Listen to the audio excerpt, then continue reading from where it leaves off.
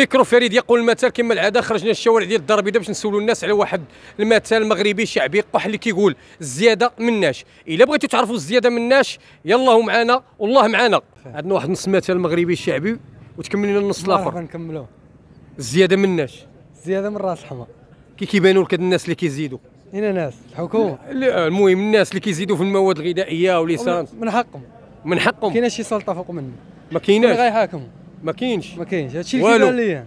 كيبان ليا هما حمقين وحنا حمقين أكثر منه هما حمقين وحنا حمقين هذا منهم. جديد أنا اللي غنخرجو اذا الزياده مناش زيادة من راس الحمر كيقول واحد المثل شعبي الزياده مناش من راس الحمق ودابا هاد الناس اللي كيزيدوا اش بان لك فيهم؟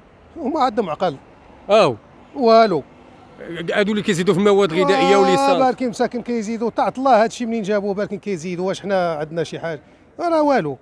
خليو الاثمنه كما كانت المواطن المسكين راه واكل العصا الزياده مناش من رأس الحمق وهاد الناس اللي كيبانوا لك كيزيدوا دابا في هاد المواد الغذائية واش آه، كي كيبانوا لك؟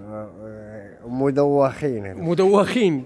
مدوخين هادو. هادو تسطاولوا ما تمالوا ما تجمعوا هاد période هادي اللي كنعيشوا أزمة ديال كورونا. plus أنه كاين الجفاف ما كاين البطالة. الناس كانت مبلوكية في ديورهم تزيد أنت تضغط عليا وتزيد في المواد الغذائية.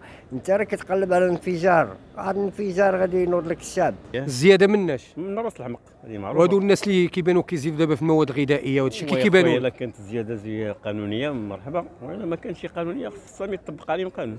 خصنا يطبق عليهم آه، القانون بطبيعة الحال. اذا الزياده مناش. من راس الحمق